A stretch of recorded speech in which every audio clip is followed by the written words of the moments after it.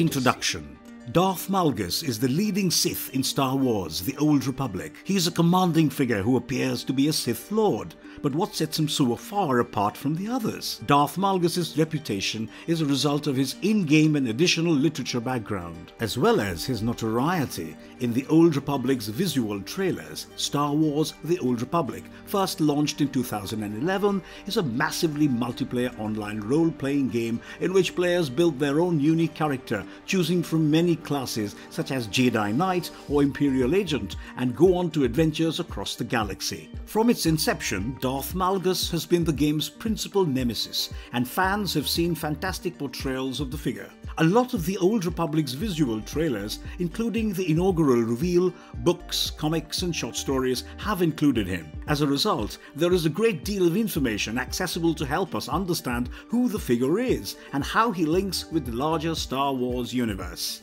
Before we go into our explanation, we have a very small request. If you like our content, please support us by subscribing to our channel. This is a small click for you, but for us, it means a lot. Thank you. Let's begin.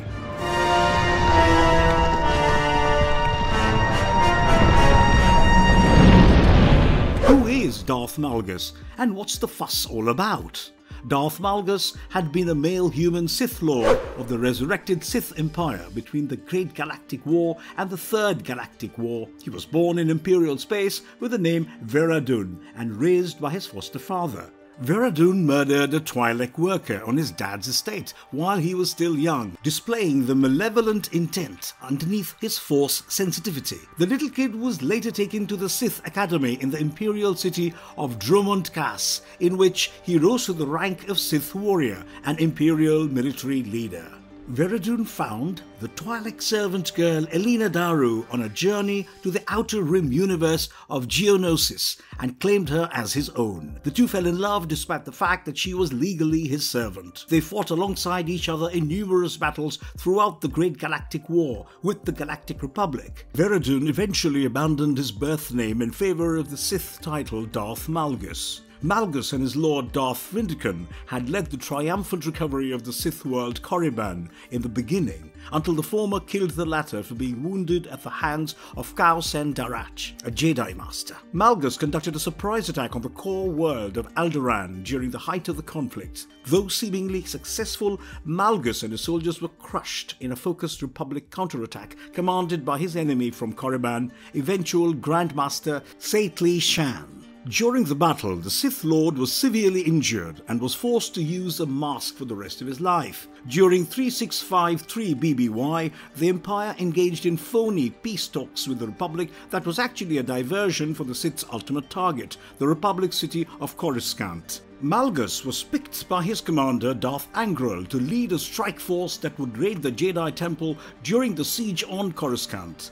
Before the Sith fleets came to lay waste to the remainder of the world, Malgus managed to murder a significant number of Jedi defenders, notably Ven Zallow, a Jedi Master. He has since been dubbed Malgus's most memorable death. The Sith had wrecked the Jedi Temple, slaughtered half of the Jedi High Council, and shamed the Jedi Order in the face of the Republic by the conclusion of the battle. Although Malgus had expected the Imperial Armada to burn down Coruscant and crush the Republic and get it over with, the conflict was ultimately utilized primarily as an influence in the Alderaan peace talks. When the Alderaanian summit was taking place, the Sith took over Coruscant. Malgus was put in command of orbital safety, but the Sith Lord ignored his orders and returned to Coruscant's surface to take on Aryn Lina, the rogue Jedi who was looking for Malgus for the death of her master, Ven Zallow. Although Lina failed catastrophically, the conflict made Malgus lose faith in the Empire and consider his connection with Daru to be a flaw. As a result, he was obliged to assassinate his beloved in order to maintain his own authority, which he eventually used to rid the Empire of the officials he blamed for enabling the Republic to thrive. Malgus led Sith troops into the undiscovered regions during the Cold War periods that followed the Empire's successful peace negotiations, seizing previously unknown regions for the Empire. Malgus rose to prominence at the conclusion of the Cold War after the believed demise of the Sith Emperor. After participating in the Dark Council, he established a new empire free of the Dark Council's infighting. He was eventually tracked down to his hidden base and crushed by the Empire and the Republic. Malgus reappeared in the invasion of Ossus in the commencement of the Third Galactic War, this time acting for the Emperor Darth Vowrawn, as well as the Sith Empire as a military leader. However, after the Meridian Complex attack, Malgus went rogue, seeking to relieve himself of all mental and physical limitations. Darth Malgus initially appears as an anonymous Sith in the deceived teaser for Star Wars The Old Republic, an unreleased computer game. Malgus, played by Jamie Glover, serves as the narrator in the teaser. However, the character does get at least one line of dialogue when he defeats his Jedi opponent. Malgus was discovered in a record on the Old Republic website's Holonet database, which contains Aurebesh terms like First Contact, Friend to Mandalore, and Yabellari, Trandosha, Kali. Malgus also appeared in the Hope and Return teasers and was a prominent personality in Paul S. Kemp's work The Old Republic Deceived, which was published on March 22, 2011. Darth Malgus' armor was eventually introduced in the game titled the Sith Raider Armor, a set of armor that can be purchased via the Cartel Market system. Malgus is mentioned as a member of the Dark Council in the mission log description for the Challenge of War on Ilum. The in game dialogue, however, does not reference him as that, and also contradicts previously stated information regarding Malgus's reluctance to work on the Council. During the San Diego Comic Con 2015 Cantina Tour, a fan event helmed by BioWare, a clip and several concept arts from the Star Wars The Old Republic Knights of the Fallen Empire visual trailer Sacrifice was shown, showing Darth Malgus in Carbonite, brought before the Emperor of the Eternal Empire, Valkorion, by Thexan and Arcann. The character, however, was just referenced and did not appear in the edition, which was released soon on October 27th of that year. After a thousand years, Korriban is ours again. Welcome home. The traumatic backstory of Darth Malgus. Veradun had been a force-sensitive human boy born in the world of Dromund Kaas, the headquarters of the resurrected Sith Empire in the year 3700 BBY. Veradun was reared by an adopted father, a scientist in the Imperial Science Bureau. He ran a private zoo on a planet apart from Dromund Kaas with Empire financing, collecting and studying many exotic creatures. Veradun used to care for the animals at the menagerie as a youngster, feeding them and scrubbing their cages. The little child also took Force training from a variety of teachers, all of whom saw his great promise in the Force. A Twi'lek servant woman on Veradun's father's estate committed a small infraction when he was young. Veradun killed the lady to show that he was competent in doing so, despite the fact that the incident itself was unimportant to him. The father was satisfied with his son's deeds. He reported them to the Sith Academy in the imperial capital, planet of Dromund Kaas. Veradun was to depart the estate and enlist as a Sith warrior at the academy. Veradun's adoptive dad took him to a zoo trip the day before his departure to teach him three lessons about personal behavior, deceit, and expectations. The lessons his father taught him by making use of creatures and their conduct had a significant influence on Veradun and influenced his subsequent views. The following day, Veradun was transported to Dromund Kaas, where he was finally chosen as a pupil by a Sith master, the pureblood Darth Vindican. Veradun encountered a small Twi'lek servant girl named Eleena Daru during a voyage to the Outer Rim colony of Geonosis. Veradun murdered her master and claimed the Twi'lek to be his own after witnessing Daru being tortured and brutally assaulted by her owner. Ignoring the Empire's anti-interspecies and anti-alien marriage rules, the two became lovers, and he actually started to treat her as a wife. As a result of being chosen as a Sith trainee, Veradun adopted a new name, Malgus. The Empire emerged from concealment in 3681 BBY and invaded the Galactic Republic multiple times, igniting the Great Galactic War. Vindican and his student were chosen to take part in the Sith attack to regain the Sith scared world of Korriban, and in the Battle of Korriban, they boarded a Fury class Imperial interceptor to capture the Republic spacecraft above the planet. After arriving at the hangar and stopping the personnel of the station from leaving on board the freighter, the pair disembarked to face the two Jedi who were nearing the hangar. While Vindican was engaged in combat with Kao Cen Darach, a Zabrak Jedi Master, Malgus targeted Darach's Padawan Satele Shan. At first, the Sith easily outmatched the younger human, but a flick of Darach's lightsaber placed Malgus on the losing side and enabled Shan to recover her footing. Malgus's instructor answered by firing a bolt of electricity at Malgus's adversary, but Darach came to his pupil's rescue once more by hitting the warrior using the Force, forcing Vindican to shift targets and assault a neighboring vessel owned by a smuggler called Nico Okarr. Okarr was frantically attempting to restart the ship so that he, as well as the Jedi, could flee. At the same time, a Republic soldier called Jace Malcom protected the ship from the Sith onslaught by throwing a rocket at him. Vindican effectively countered the projectile but was furious when he saw Darach instruct Shan to flee on the vessel. Malgus, enraged that his opponent was fleeing, confronted Darach alongside his master, defending himself using both Shan's and his double-bladed sabers. Despite the Sith's superior numbers, Darach successfully repelled their strikes, striking Vindican in the face before slashing the Sith Master in his chest. Despite the death of Malgus's mentor, the young Sith retrieved Vindican's lightsaber and attacked Darach, swatting off the Jedi's volleys of machinery and metal. Malgus brought the combat to an end by severing Shan's saber from Darach's hands and pounding down the Zabrak's defenses. Malgus was startled to see his master still alive, and he insulted Vindican for failing to stop the survivors' escape before beheading the Sith pureblood as they saw the Sith armada fall on Korriban. Malgus wandered alone on Korriban's surface after the war and had a force vision in which both the Republic and the galaxy burned. Malgus became convinced that he was to blame for the demise of the Republic as well as its Jedi Order. Malgus was raised to the level of Sith Lord in the days after the Battle of Korriban, and he was given the title of Darth in approximately 3667 BBY. Darth Malgus was chosen to personally command Imperial forces during a sneak raid on the peaceful world of Alderaan inside the core worlds. Malgus deployed thousands of attack droids and Imperial warriors, followed by hundreds of Sith on Alderaan's land after the Empire finished a brutal orbital bombardment. Malgus went on to lead the Imperials on a rampage across the world, killing cities and burning forests on their way to the capital city.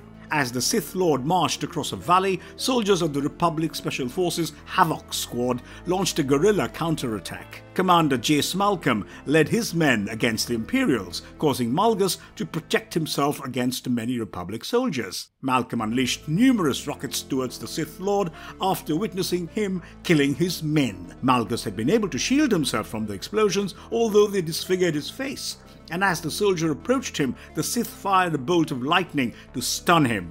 Three Sith planned to execute Malcom at Malgus's instruction, but the appearance of Satele Shan, who is now a Jedi Knight, protected the soldier's life. Shan launched a force blast as she stood behind her companion, sending the three Sith flying and drawing Malgus's attention. The two adversaries proceeded to combat, with Malgus pushing Shan to the ground with his mighty strikes, but Shan forced the Sith Lord back by causing a nearby tree to fall to the floor between them. Malgus was able to split Shan's lightsaber in two as their combat progressed, forcing her to deflect Malgus's lightsaber using her bare hands by trapping the weapon's energy. Malgus' speech was cut short as Malcom attacked the Sith Lord, struggling with him before showing that he was clutching an explosive. Malcom was thrown backwards by the ensuing explosion, but Malgus was somehow able to resist the blast despite the damage on his face. Shan then used this time to use the force on Malgus, pushing him onto a neighboring cliffside before releasing a second, very powerful blast that swept the entire cliff down on top of him. The Sith troops were retreating as reinforcements from the Republic arrived in the system to assist the wounded Republic defenders. Shan was critical in providing encouragement to the suffering Republic soldiers on the ground. Malgus was rescued by his own shuttle after surviving the incident. He ignored his wounds because he was frustrated and furious by his failure. His breathing sounded raspy across the wood, burns pricked his flesh. His lungs had been harmed. Lacerations and contusions formed a bleak mosaic on his skin. Malgus, strangely enough, felt no discomfort. Malgus detected the company of a Jedi inside a wrecked city on Alderaan as he left the planet.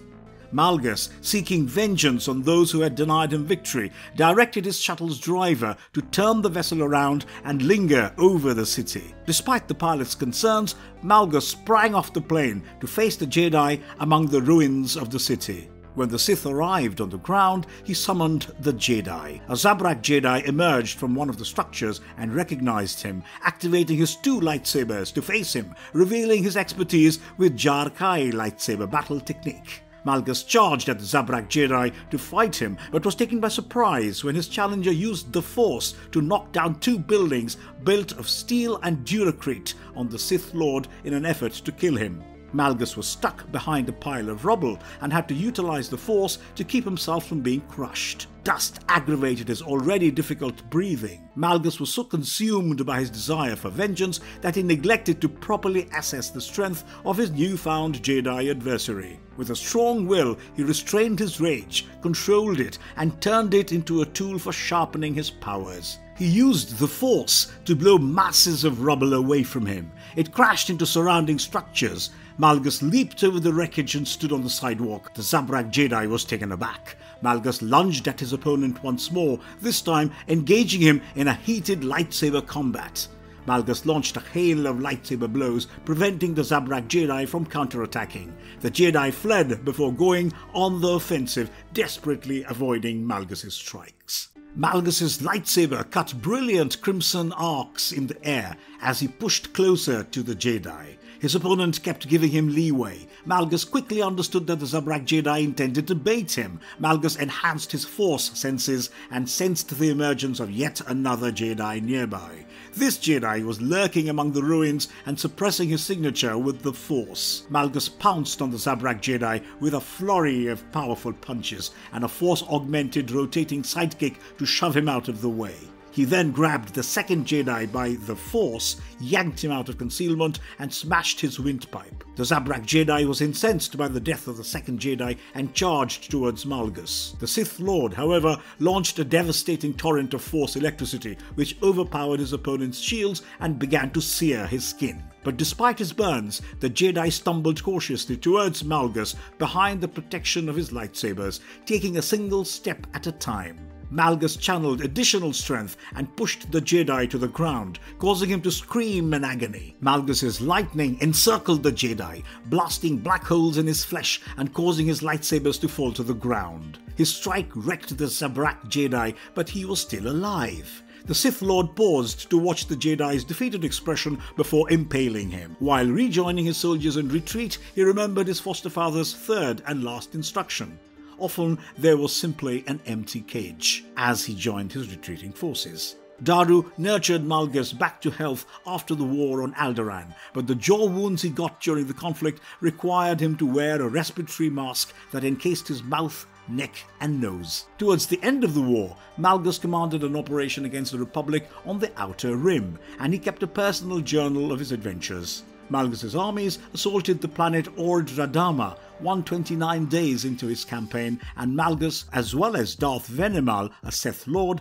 oversaw the deployment of Sith soldiers on the planet. Malgus and Venemal subsequently led a squadron of Sith troops in an attack on a Republic artillery force at the bottom of a cliff. As Venemal and a squad of commandos destroyed the weapons, Malgus led his surviving forces over a mountain pass, rolling a big rock down the pathway to ignite a multitude of mines that sat along their path. Malgus rejoined Venemal's crew as he reached the mountain's peak, and he praised the commandos after learning that they had wiped out a Republic base. More Sith warriors arrived on Radama, and a number of days later, Malgus rallied his men and delivered a speech to rally them in anticipation of an invasion on Livian Magnus, the main city of Ord Radama. Malgus's army surrounded Livian Magnus, aiming to starve the residents to death. A week into their assault, Lord Adraas, a competitor of Malgus, was dispatched by the Emperor's consultative Dark Council to Ord Radama in order to help Malgus. Malgus was irritated by Adraas's arrival on the planet, and when Adraas proposed sending several Mark I and Mark II Sith warbots to clear a way into the city, Venemal and Malgus did little to discourage him, despite their reservations about the droid's skills. The droids stormed the city's south gate on Adraas's instructions, and Malgus watched as the droids were slaughtered by Republic forces. On the other hand, the defeat of the droids distracted the Republic troops enough to enable Venemal with his commandos to penetrate the city and burst a breach in the wall. Livian Magnus was easily defeated by Malgus's forces, and Adraas attempted to claim all the acclaim for the victory, leading Malgus to dislike his opponent even more. Malgus's soldiers were not resupplied despite their early success, and Malgus worried the Sith might lose all control of the city. Although the Ministry of Logistics was in charge of supplying Malgus's forces, Malgus had no authority over the ministry's head, Minister Shulis Kamar, to compel her to assist him, so he, instead, submitted certain requests for supplies to War Minister Sheries. However, Sheries did not reply, and Kamar did not supply Malgus with any supplies, prompting the Republic to dispatch a fleet of Thranta class corvettes and Hammerhead class cruisers to assault Malgus's ships in the orbit of Ord Radama. Malgus watched as Republic ships fought his fleet from the terrace of a castle in Livian Magnus so he took his private shuttle and flew up to take charge of the dreadnought Lindworm. By the stage Malgus landed on the Lindworm's pass, the Sith had already lost the fight, and he watched as a wounded Sith Harrower class dreadnought plunged into Ord Radama's atmosphere and slammed into the heart of Livian Magnus. Malgus shouted in anguish as he sensed the murders of Venemal and many thousands of the city's people through the Force. The force of his scream broke the bridge's viewport and made the crew's ears bleed and annihilated a swarm of Republic Aurek class tactical strike fighters passing by. Malgus ordered his surviving forces to evacuate the system and leap to the core of Sith space, acknowledging that the Sith had little chance of annihilating the Republic ships. Malgus's troops were followed by the Republic after he retreated to Sith space, and a Republic squadron assaulted the Sith colony of Ziost. Malgus took part in the fight, and the Sith were unable to block the Republic's assault, which shortly launched an attack against the world of Ashas Ree. Malgus was sent to aid in defending Ashas Ree, and once there, he assumed charge of a stretch of siege vehicles and utilized them to repel a series of Republic vehicle attacks. The Sith troops were finally victorious on Ashas Ree, and, in acknowledgement of Malgus's involvement in the war, the Dark Council assured him that he would never experience a resource scarcity again as he did at Ord Radama. Malgus controlled a cipher agent, a high-ranking Serenno noble who operated for Imperial intelligence, after receiving information from Imperial intelligence that Ven Zallow, a Jedi Master and the leader of the Republic forces that had taken part in the Battle of Ashas Was currently based on the world Serenno.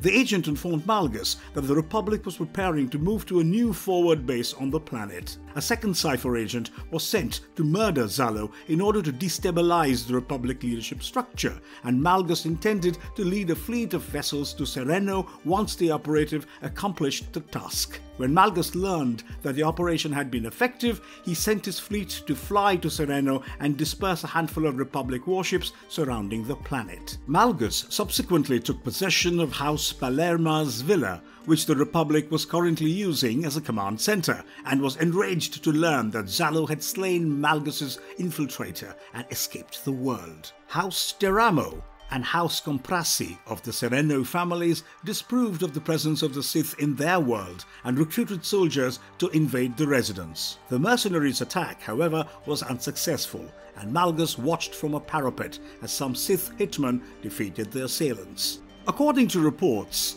several Sith resented Malgus for Darth Venemal's death. So, once the Sith Emperor instructed Malgus to reclaim Ord Radama, Malgus felt that the attack would provide him with an opportunity to redeem his dignity. Malgus prepared to lead a unit of Sith warriors in an attack on Ord Radama's newest capital city, New Raido, with bots, troopers, and commandos joining him after the city's defenses were penetrated. The fight lasted many weeks, and Malgus faced a series of defeats as a consequence of the Jedi's operations. Regardless of the fact that the delayed nature of the invasion cost him credibility with the Dark Council, he was delighted by the battle's bloodshed. He was confident that he would capture the world and that this success would earn him a seat in the Sith army assembling to invade the Republic's flagship world of Coruscant. Malgus also thought that the Dark Reaper, a super powerful weapon utilized in the Great Sith War, had its power source on Ord Radama.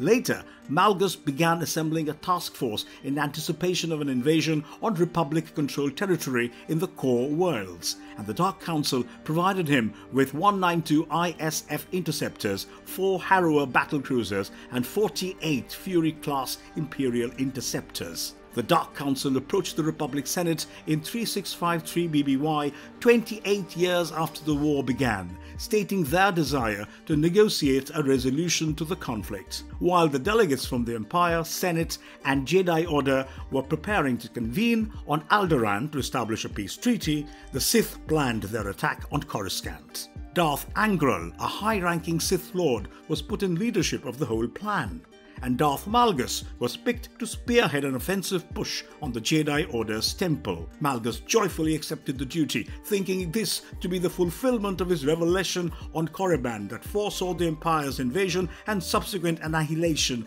of the Republic. Malgus's invasion strategy included infiltrating the temple and distracting the Jedi. At the same time, a group of 50 Sith warriors penetrated the antique edifice and demolished the planetary security grid mainframe inside. Angral ordered that Malgus's opponent, Lord Adraas, a political friend of Angral's, operate as second in command by directing the 50 man infiltration squad, despite Malgus's desire that he be the only commander of the initial attack. Malgus and his squad meticulously prepared and plotted their mission in the period surrounding the invasion, and the Sith Lord himself inspected electronic simulations of the assault several thousand times. The Sith's plot was set in action as the negotiation parties commenced their peace conference on Alderaan. Malgus, followed by Eleena Daru, landed on Coruscant and went walking to the Jedi Order's temple, traveling through large plazas packed with Coruscanti inhabitants, unknowing of the imminent attack. The two took advantage of the chance to exchange their perspectives on both their battle life and the Force, exchanging a passionate kiss along the way. Malgus obtained confirmation from Shae Vizla, a Mandalorian bounty hunter, that Coruscant's protective grid had been removed in preparation for the Sith invasion before arriving at the Jedi Temple. A group of temple security staff attempted to stop him, and Malgus instructed Daru not to intervene before killing the bunch. Vizla, who was monitoring the scene from a niche in the temple's face, took this as a signal and penetrated the temple through a maintenance vent as her teammates entered through the entrance gate. Six Jedi Knights descended from the balcony to confront the visitors, joined by Jedi Master Ven Zallow. The seven Jedi advanced as one towards Eleena and Malgus as they headed towards them. Malgus's wrist chrono began to beep, signaling the presence of a stolen NR2 Republic ship to the Jedi Temple. The beep startled the Jedi Knights within, who lit their lightsabers, took a step back, and formed a battle position.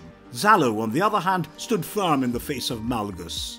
Malgus praised him and bowed his head in acknowledgement. The dropship ultimately broke through the main entrance of the Jedi Temple, skidding over the temple floor, ripping stone, trailing flames, toppling columns, crushing balconies, and suffocating people under it. But Malgus and Zallow stayed till it came to a standstill just behind them. The hatch of the vessel blasted up, revealing Lord Adraas and a crew of 50 Sith warriors who ignited their lightsabers. Malgus grinned and ignited his lightsaber as he remembered his vision on Korriban. The reinforcements attacked the Jedi and their security troops alongside Daru, Malgus, and Vizla, the bounty hunter. Zallow and his knights jumped 20 meters backwards, where numerous more Jedi gathered. Adraas and the Sith warriors dashed at the Jedi at the same time. Some Republic forces came and aided the Jedi in the fight against the Sith. Despite their blast of fire, Malgus was pursuing Zallow but had yet to meet him. His next victim was a Jedi, whom he slew after a quick duel. A second Jedi, a female Zabrak, attracted his eye as she attempted to approach Daru and murder her. Daru's abilities were ineffective against this opponent, so Malgus stepped in. He called on the Force and pushed the Jedi through the hall and against one of the stone columns, where she fainted, blood dripping from her nose. The fight appeared to have become more disorganized by this point. Adraas sprang into the heart of a squadron of Republic soldiers, punctuated by a burst of force powers that blew the men aside like dried leaves. Malgus then launched a bolt of force lightning that enveloped two Padawans and a Jedi Knight at the same time, killing them and severely burning their bodies. Following these two great accomplishments, Adraas and Malgus shared a scornful salute. Daru exchanged fire with another group of Republic forces, which drew Malgus's attention.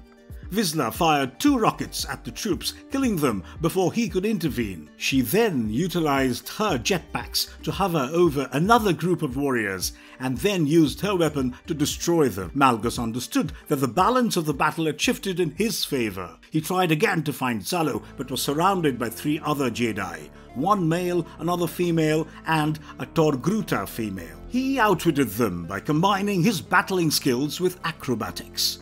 Malgus knocked out the female first by smashing her on the ground with his force enhanced power. He then leapt behind the Togruta woman, deflecting her lightsaber blows, and used the force to throw her over the strewn ruins. Finally, he deflected the male lightsaber's blow, grabbing him by the throat, hoisting him into the air, and smothering him. Malgus was outraged as he had never been before. He eventually found Zallow, an adversary he deemed worthy of fighting on that momentous day. Zallow's battling skills were outstanding, and he slew two Sith warriors swiftly while Malgus looked on. At the same time, Adraas landed just behind Zallow and tried to assassinate him.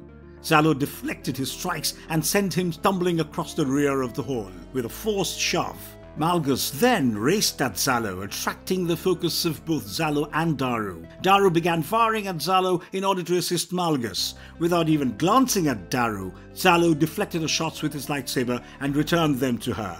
Two of them hit her, and even as she fainted, Zallow unleashed a powerful blast to send her body into a column. Malgus came to a halt and gazed at Daru. His rage overtook him. Another Jedi approached Malgus at this point. Without even looking at him, the Sith Lord reached out a hand, pushed past the Jedi's shields, and strangled him to oblivion, flinging his corpse aside as he stormed toward Zallow.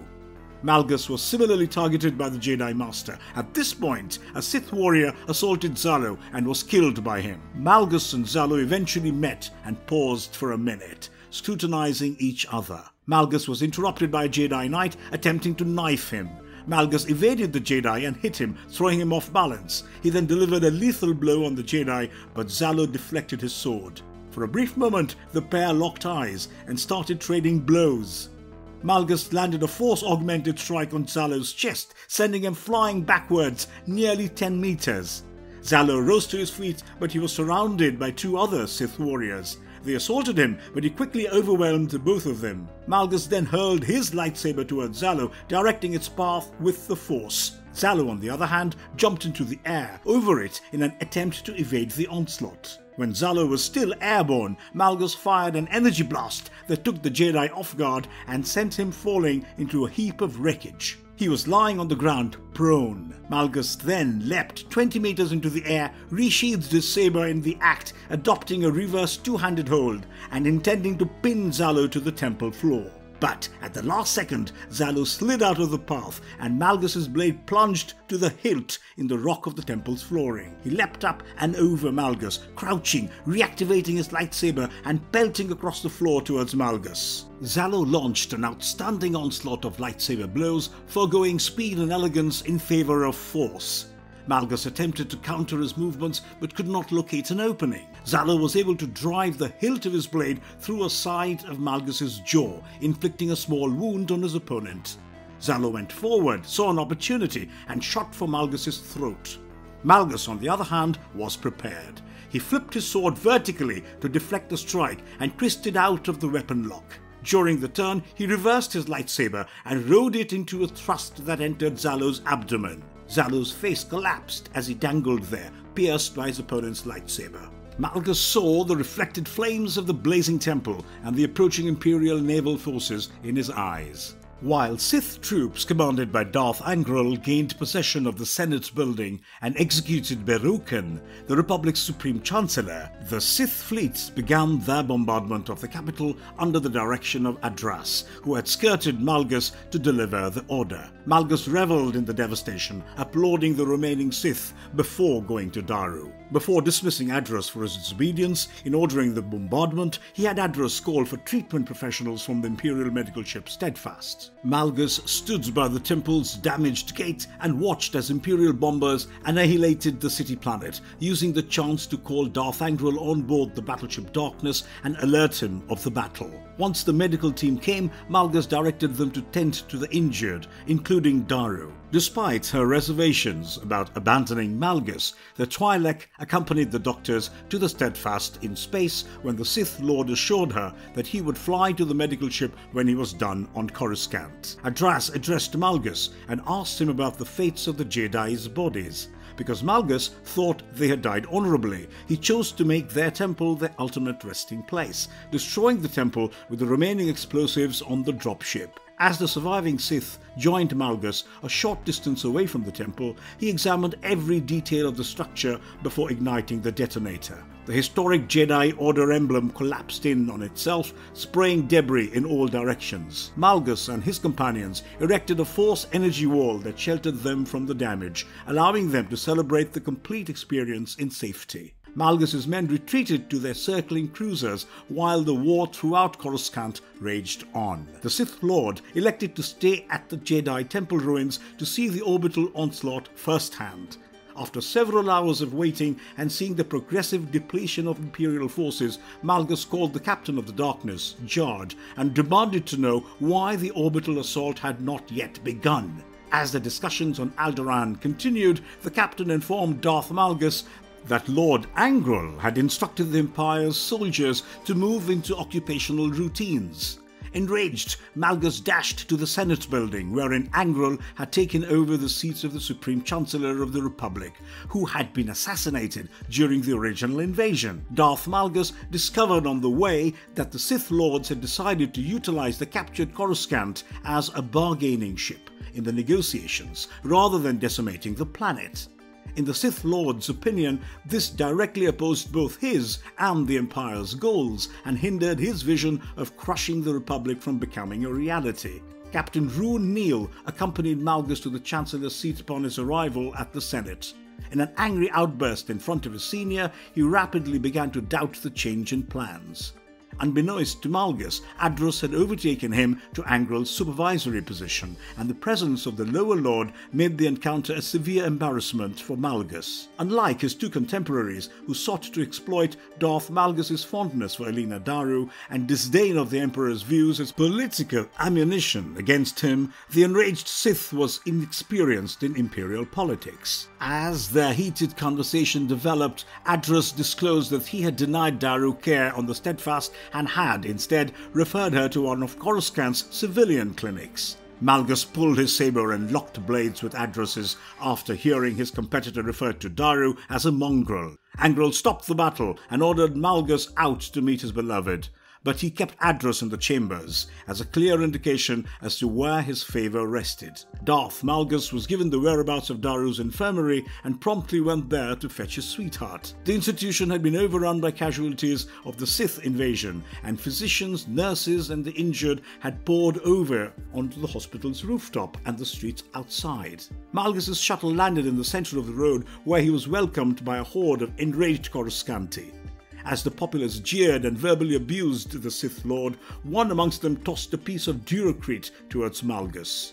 Malgus was angered by the deed, even thought he was capable of smashing it with the Force, and wanted to know who tossed it. When no one stepped up, the Sith Lord tried to disperse the gathering, but all he got were calls for help. In retaliation, he released a surge of force strength that forcibly drove everyone in his proximity away from him, causing further injuries and devastation. Malgus approached the hospital with the road cleared and requested that the nurse guide him to Daru. Malgus took his beloved from the facility and returned her back to the vehicle he had after locating her. While in orbit, the Sith Lord reflected on Angral and Adraas's desire of using Daru against him and struggled to reconcile his affection for the woman with his obligation as a Sith. Darth Angral ultimately contacted him and instructed him to stay in space aboard the Valor to monitor the blockade fleet. Despite his dissatisfaction with the assignment, Malgus agreed and stayed on the bridge of his ship while Angral and Adraas managed affairs on the surface. The fleet stopped a Dragonfly class drop vessel headed for Coruscant the day following the invasion. The owner, a bounty hunter named Vrat Xizor, notified Captain Jard that he had knowledge that would be useful to the blockade commander. Darth Malgus ultimately agreed to meet with the guy who alerted the Sith that a criminal was about to attempt to circumvent the Imperial barrier with a Jedi Knight following him. Despite his skepticism about Xizor's allegations, Malgus increased the Valor's alert levels and increased scans of approaching Imperial supply freighter ships. When an abnormality was discovered within one of the inbound convoys, Malgus dispatched a flight of Imperial vessels to undertake visual inspections of the freighter hulls. When the shuttles discovered an XS stock light freighter hooked on the aft portion of the freighter Dromo, they moved to destroy the ship but were thwarted when the invader moved closer to the super freighter. Darth Malgus ordered the convoy to split so that the Valor could obtain a clear shot in an effort to pull the excess light freighter out of cover. During the ruckus, Malgus was called by Darth Angral. However, he delayed responding until he had dealt with the smuggler. Instead, Malgus called the encroaching ship and commanded the pilot to turn down the engines or be destroyed. Malgus went to Angral's communication after the criminal Zeerid Korr declined. The higher Sith Lord told him that the Imperial contingent on Alderaan had acquired intelligence from their Jedi colleagues. A Jedi woman named Aryn Lena had reportedly departed the discussions without authorization, threatening the impending peace. Master Dar'Nala, the Jedi delegation's commander, told the Sith that Lena's acts should not be linked either with the Republic or the Order, and that she should be considered as an independent hostile agent. During the Cold War, Malgus was in charge of various operations, including those concerning the Hammer Station and, more importantly, seizing the Foundry and overthrowing its master, Revan. Malgus removed himself from the political games being played by several Sith competing for a place on the Empire's ruling Dark Council after the agreement of the Treaty of Coruscant, which formally ended the war. Malgus, on the other hand, led Sith troops to the unknown regions, extending the Empire's dominion into previously uncharted territory. Though a strong combatant, he struck out as an outlier among the Sith of his day, frequently recruiting mercenaries of diverse alien species, deemed treacherous and disloyal by the Empire. As a result, Malgus studied a variety of languages. He also commissioned a weapon of mass destruction, the Emperor's Shadow, to Dark Council member Darth Mekhis. And protected.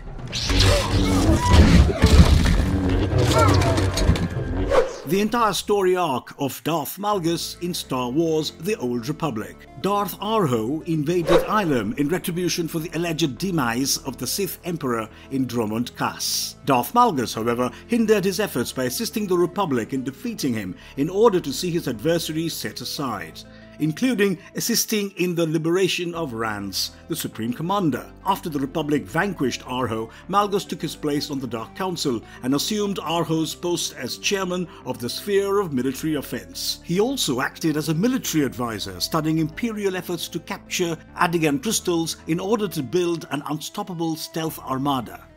Malgus pushed for the Empire's need for foreign alliances and reforms before and throughout his tenure on the Dark Council.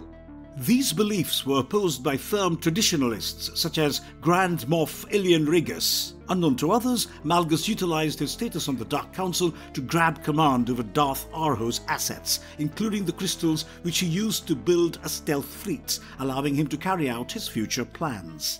Once Malgus acquired the crystals, he made a spectacular speech establishing the new empire and declaring himself emperor, which would be independent of the Dark Council's infighting and driven by alien friendships and tolerance. In a statement to the Empire from which he defected, he revealed that he exploited the Foundry's powers to build a droid army akin to Revan's, but far more powerful. Through merciless violence, his new real empire would cleanse the galaxy. Malgus asked any and all officials of the present empire to enter his organization, believing that many people shared his concerns about the situation of the empire. Malgus quickly gathered a devoted army of bots, mercenaries, soldiers, and Sith of various kinds. Malgus intended to gain small wins with this embryonic revolt in order to test its power before striking the galaxy and defeating both the Empire and the Republic. Malgus eventually forged several partnerships with major alien forces such as the Schism Collective. Malgus drove his new empire to several early successes, seizing a large portion of the unknown regions. The most significant chance for the budding empire, however, came when news broke that the Sith Emperor had indeed been killed by a Jedi Knight. Just the Emperor's voice had been slaughtered, unknown to all, barring a few but it was Malgus's most excellent chance to unify the Sith under his command. Several other Sith who had been waiting for the proper time also followed him, departing the Empire due to the Sith Emperor's alleged death. Darth Severin, one of Malgus's closest confidants, pledged his loyalty to him. Malgus amassed a large number of devoted Sith, mercenaries, and droids during this period, when many felt that the Sith Empire was in shambles. In exchange for Malgus's gifts, the collective chose to recompense his empire with vital scientific discoveries, such as merging old foundry technology into the seized space station. They also enhanced Malgus's soldiers' firepower using Rakata technology and refining the manufacturing of one of Malgus's war fleets. Darth Severin, an ally of his, was dispatched to Ilum to conclude the invasion begun by Darth Arho. However, Severin was beaten, and the strike team took a stealth commanding vessel from the fleeting attack and piloted it to the location of Darth Malgus's concealed stealth space station. Malgus was cornered in his throne room and used the station's self-destruct procedure to destroy the fleets attacking it before battling the strike squad dispatched to confront him. Malgus's resolve faded as the conflict progressed, despite the fact that he was a vicious and talented warrior.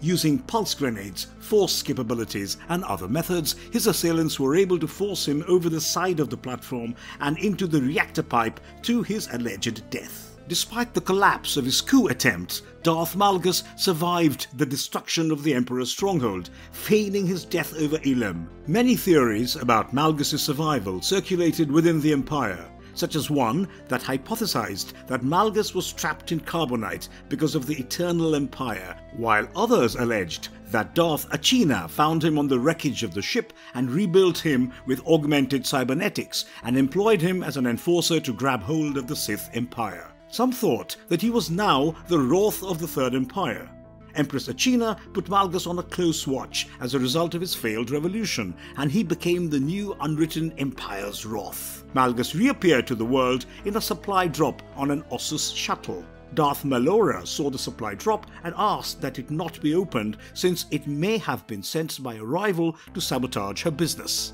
However, the supply drop opened by itself, revealing Malgus to the Alliance commander, Major Andre, Malora, and the others present. Malora, stunned by his survival, attempted to strike him but was shoved aside by the Sith Lord, plunging off the balcony into the depths below. The Sith Lord then seized over the direction of the attack from Malora. He began an invasion on the Jedi colony, which was home to Jedi Master Gnos Dural. Malora, on the other hand, survived the fall and returned to Major Andre and the Alliance commander, stating her opinion that the Empress may have Malgus on a tether, but she wasn't the only one who could pull it. Following the planet's attack, the remainder of the Galactic Republic and the Sith Empire learned of Malgus's survival. Malgus stole a book from Ossus's Jedi library before embarking for Dromund Kaas, unbeknownst to the Republic and the Empire. Darth Malgus gained leadership of an expedition on Dantooine following the invasion of Ossus. Malgus saw Dantooine as an imminent danger because of its location on the outskirts of Imperial space, which made it a highly beneficial base of activities for the Galactic Republic. As a result, the once utterly trivial agricultural world speedily became a key supply benefactor for the Republic's troops in the Outer Rim territories after the conflict against Zakuul. Darth Zarion advised the Empire to employ the private organization named the Nova Blades to invade the planet. With the Nova Blades' assault of Dantooine being rapid and unexpected, fully catching the Republic garrison off guard, the Sith Empire, led by Malgus, succeeded in a clandestine infiltration of Dantooine. The Sith Empire deployed a small disruptive task force created by them with the purpose of deliberately crippling infrastructure and sabotaging the Republic's military reaction to the pirate menace, with the pirates serving as a suitable diversion. Darth Krovos and Darth Malgus were assigned to lead an operation to destroy the Meridian Complex, a sophisticated Republic shipyard on Corellia, with the potential to tilt the conflict in the Republic's favor. Malgus and Krovos gathered a massive armada consisting of the vast bulk of the Sith Empire's entire navy, in addition to Darth Nox's silencer fleet, which was now governed by Moff Pyron, and the very last of the destroyers equipped with the Isotope 5 as well as an additional group of fuel ships to allow the fleet to proceed to Corellia without stopping. Malgus discovered that the Republic fleet lacked fuel ships and planned to eliminate Republic reinforcements that fueled on friendly or neutral worlds before they could attack the Imperial fleet on Corellia. Darth Savik, Darth Malora's successor on the Dark Council, was in command of the first target, Onderon, a confirmed Republic world. The next target was Mek-Sha, a realm teeming with criminal groups operated by Huttbreaker, who chose to hold a bidding war of the five leaders to decide whether to offer fuel to the Republic. Due to her previous understanding of the crime syndicate, Darth Shar was given responsibility for the operation, greatly helped by the Empire's longtime allies, the Brothers. When Savik and Shar's missions were completed, Malgus summoned them and their men to Corellia to assist in the war. Darth Malgus was present in a battle strategy conference with Darth Krovos, Emperor Vowrawn, and Moff Pyron. Darth Malgus heard through Theran Cedrax after the Empire soldiers penetrated the Meridian Complex's control that Tau Idair, Ghost Apprentice, Jural, had transferred power from the main to the subsidiary command center before demolishing it.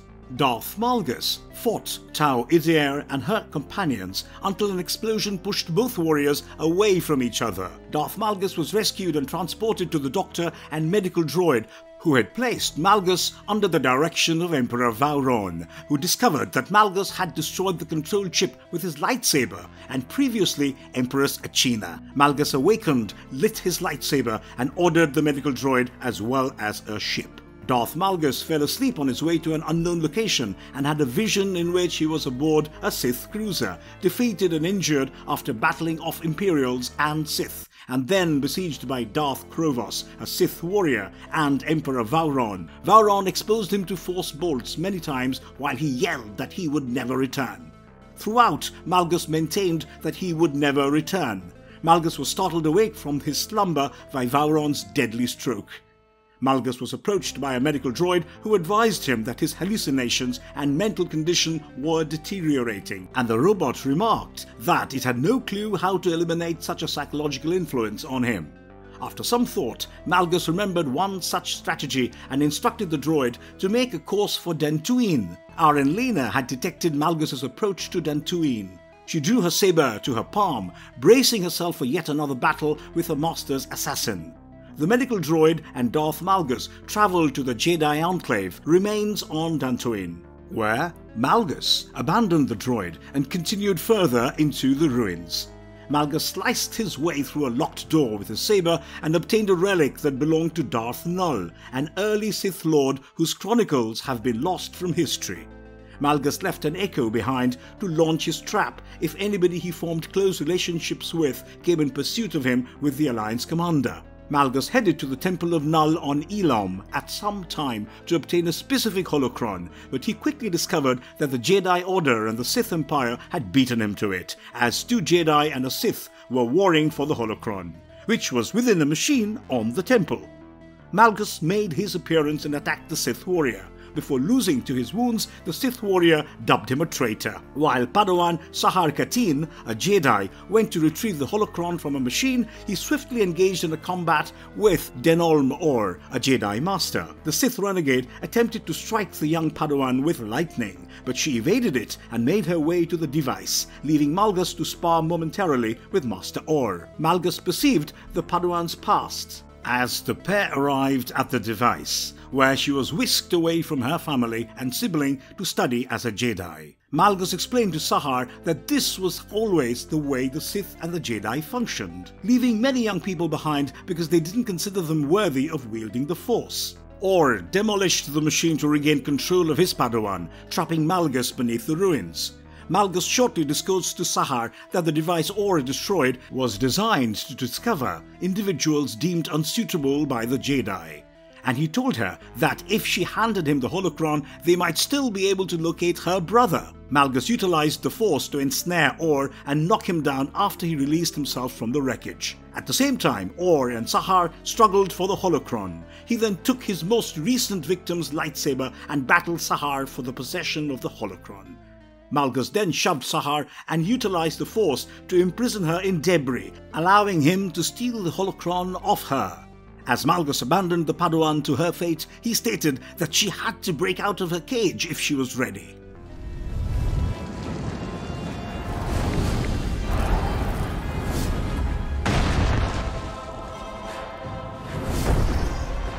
The final fate of Darth Malgus. Whilst the Republic and the Empire were distracted on Manaan, Darth Malgus was able to achieve his personal aim and wait for the Alliance commander to find him. The commander then beat the renegade Sith Lord and confined him in a unique prison built to contain someone as strong as him. While locked up and awaiting questioning, Malgus mused on the fact that the Alliance commander assumed the affair was done and disclosed to them that he had unearthed a path to power that was hidden by councils and hidden by thrones. In the meantime, he left the holocron he discovered in Null's temple to be found by Sahar Katin. Malgus then declared that he had seen a revelation of a galaxy engulfed in fire, and that the work he had begun would not finish with him, since this was only the beginning. Later, the Alliance commander visited Darth Malgus in his jail cell on Carrick Station with queries about the former's curiosity in a child of the Emperor, to which Malgus gave no response but soon fired back that the commander was an idiot and everything they knew about Darth Null was complete fabrication and went on to explain the true history of the mysterious Sith. When asked why he was disclosing this knowledge, Malgus stated that it didn't matter because not only would Null's secret not be buried, but his plans had succeeded and could not be stopped, only to be squelched by the commander, who stated that whatever was going on, they would stop it as they left. Darth Malgus was mentioned in the work The Rule of Two by the Dark Lord of the Sith, Darth Bane.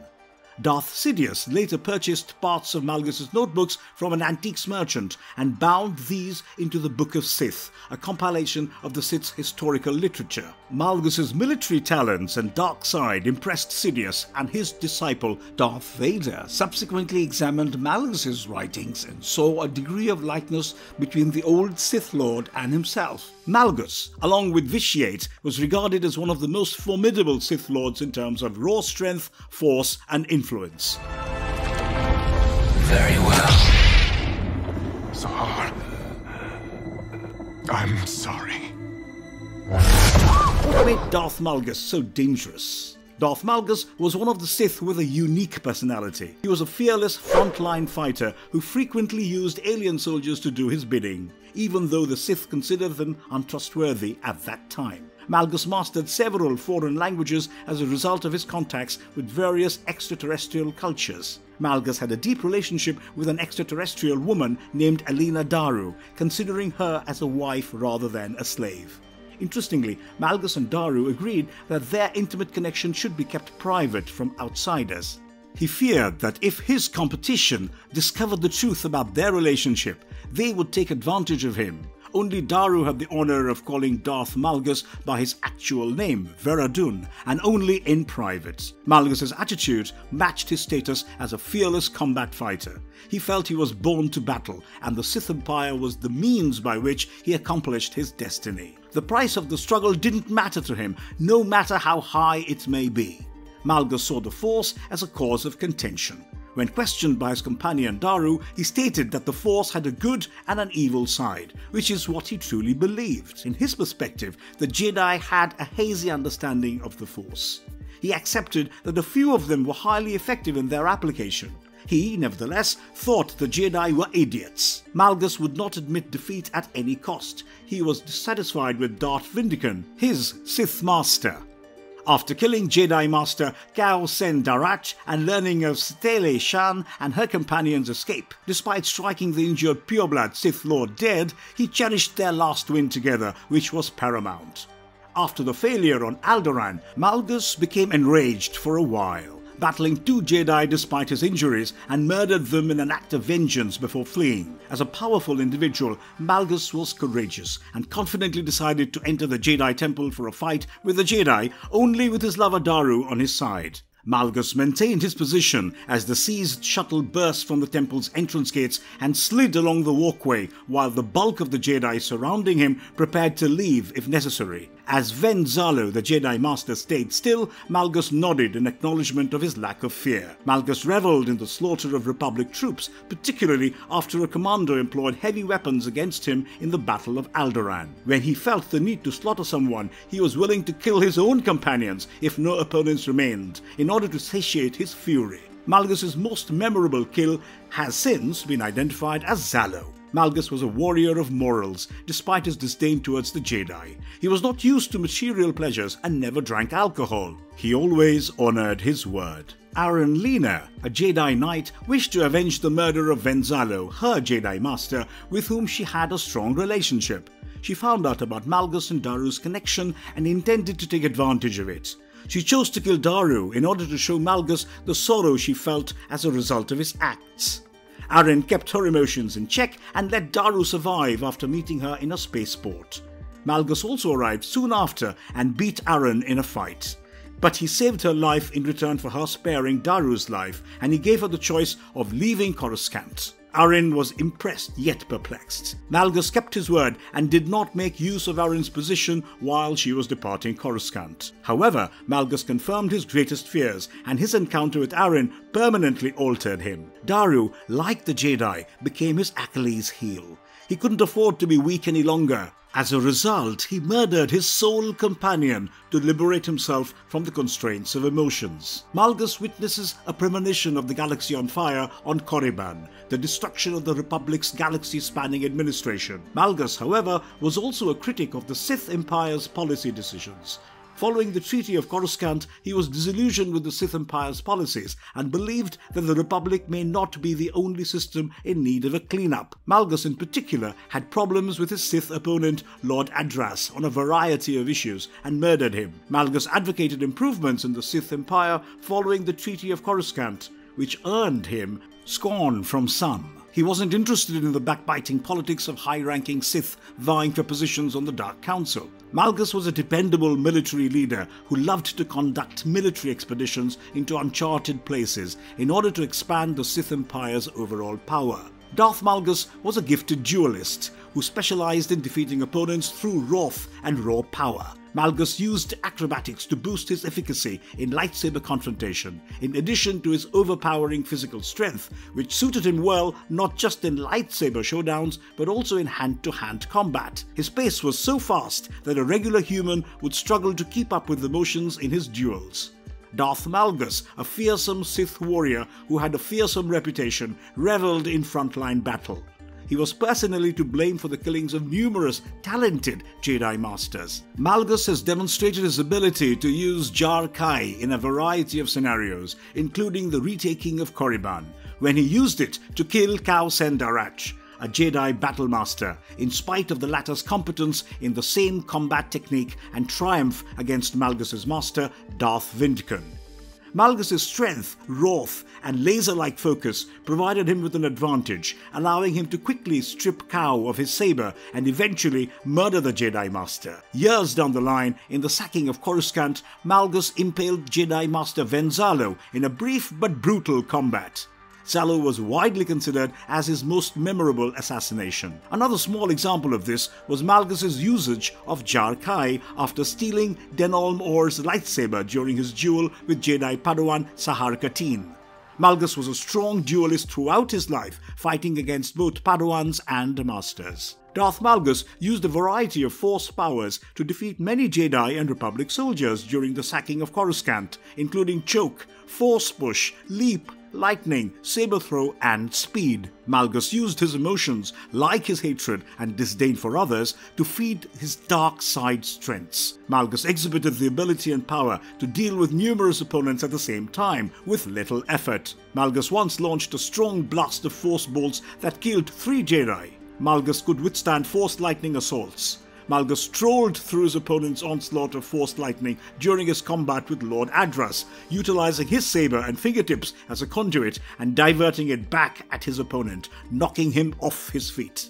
He honed his use of force bolts to the point that he could create a force maelstrom in the Battle of Ilum, he used Tutaminis to absorb blaster fire from the Voidhound, Meteor, Hunter, or Cypher 9, which he shot at with one hand. Malgus also used Force Cries to show his hate for his opponents and to destroy opposing warriors within his range. When his companion, Eleena Daru, was shot at by his most formidable foe in the region, Zallow, during his attack on the Jedi Temple, Malgus released power with an outburst of wrath that broke an adjacent column of wall and sent a rain of stone shards around the chamber. Malgus utilized these powers once again in his attack on Adraas's resting spot, making his deep loathing for him plain by creating a path of ruin around him as he advanced towards his mighty Sith opponent. Malgus frequently employed force speed to enhance his physical movements. When Malgus challenged Aryn Leneé, who was a Jedi Knight, to a battle, an observer attempted to monitor them but was unable to notice their movements owing to their incredible speed. Later, when racing towards the hangar at a spaceport to save Daru from danger, Malgus employed this ability again, leaving the men escorting him far behind. Malgus was skilled in the use of telekinesis due to his strength in the Force. Malgus would counterpush his enemies in midair when they jumped at him, knocking them unconscious. Malgus revealed his ability to launch things like missiles at Aryn during their combat. Malgus was also capable of performing Force Grasp and Force Crush. A Zabrak Jedi employed the Force to bring down two buildings on top of Malgus in an effort to murder him on Alderaan. Malgus stood beneath the pile of rubble built of duracrete and steel, stopping it from burying him underneath with the Force. Malgus tamed his rage and honed his might. He blasted the wreckage away and up from him, causing it to crash into nearby structures. Malgus also used a force wave to clear a large mob gathering outside a Coruscant medical facility to check on Daru. The boom pushed everything away from him, and bodies collided with one another, walls and windows. The neighboring transport heaved, and all of the medical facility's doors slid open and tumbled to the ground. Malgus also confronted Satele Shan, a Jedi Master, and her friends in a single battle on Alderaan, putting up with powerful weaponry and force abilities that smash enormous structures around him. He was severely damaged, but he escaped with no discomfort. Malgus could also employ the Force to conceal his whereabouts. Interestingly, when preparing to attack Malgus, a Jedi of Alderaan utilized this skill to hide his Force signature, but it was ineffective against him. Malgus was nevertheless able to detect his presence and thwart his goals. Malgus was so powerful in the Force that it required many Force users to bring him to a halt on Ilum. Malgus became disillusioned with the condition of the Sith Empire over time, and by the period of the Cold War, he believed that there was excessive infighting among the Dark Council. He was also fed up with the Empire's refusal to utilize aliens to bolster their army. Following the Emperor's demise, Malgus took control of the situation and intended to construct his own empire, accessible to any Sith who desired to follow their interests, dismissing whatever titles they had achieved that Malgus considered meaningless. In his new role as a self proclaimed monarch, Malgus expected respect. The Sith Lord argued that the Empire's outdated principles would lead the Sith to fade away and that they needed to develop a more flexible network if they wished to survive. Malgus was prepared to demolish the Emperor's stronghold in order to eliminate the ships assaulting them, feeling that the fort was a memorial to the ancient empire and that its sacrifice was unavoidable. The Sith Lord stated that regardless of whether he was destroyed, the empire would be revived. Malgus seemed to become loyal to the Sith Empire again after his reappearance in the invasion of Ossus, but in actuality he was merely acting while covertly gathering different Jedi and Sith treasures behind the scenes. He also followed Darth Nul, a legendary Sith Lord whose archives were seemingly erased by the Empire. During his journey to Ilum, Malgus speaks with Padawan Sahar Katin about how both the Sith and the Jedi maintained power over the universe by keeping the mysteries of the Force to themselves and not giving them to those deemed unworthy. Malgus, after being apprehended and imprisoned, recalled his glimpse of a galaxy on fire and stated that he started something that wouldn't stop with him. In conclusion, Darth Malgus has risen and recovered his rightful place in the limelight with the launch of the Onslaught expansion. The figure was a tornado of seemingly opposing ideas that resulted in one of the more exciting Sith Lords in Star Wars history. He was a Sith who became infatuated with an alien servant and then murdered her so that no one could ever exploit her against him. He was so sure of a greater Sith empire that he waged war on the whole galaxy to achieve it. The tale of Darth Malgus is fantastic, and just seeing or hearing about his actions seals the deal. He may play an even more prominent role in the narrative if Lucasfilm chooses to develop a movie or series about the Old Republic. Although he may not have Darth Vader's reach and fame, he is unquestionably a Sith Lord worth noticing. And if you liked our content, don't forget to leave a like and subscribe to us if you haven't already. Have a good one and be safe. Thanks, everyone.